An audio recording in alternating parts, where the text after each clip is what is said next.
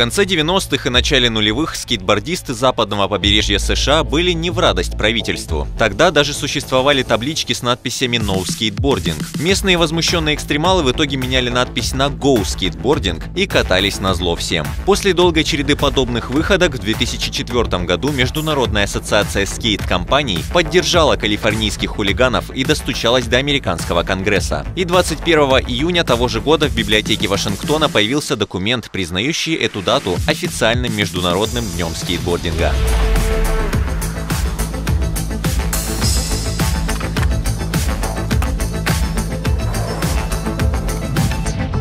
Во Владивостоке под крылом городской федерации экстремальных видов спорта этот праздник отмечается уже 8 лет, а из-за нашего географического положения мы каждый год еще и первые, кто встречает скейт-мероприятия в России. Сегодня мы с ребятами проехались по городу, по некоторым спотам, провели ряд номинаций, и заключительная часть у нас пройдет в скейт-парке «Юность». Вот, здесь будет три номинации, три победителя, и потом все дружно отправимся на море.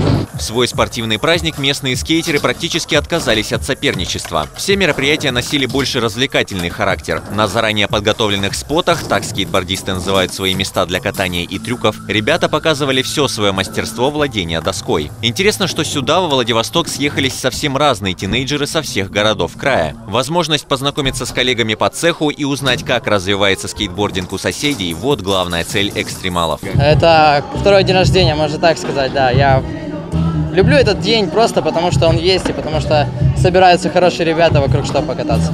Кататься во Владивостоке есть где, говорят скейтеры. Однако останавливаться на давно построенных рампах экстремалы не хотят. Тем более, если этот вид спорта растет, то он растет как в качестве, так и в количестве. И чем свободнее будет на площадках, тем комфортнее будет выплескивать всю свою трюковую фантазию.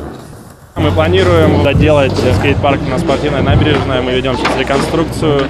Вот. Эм, столкнулись с проблемой нехватки денег. В принципе, вот сейчас собираем, если какие-то партнеры появятся.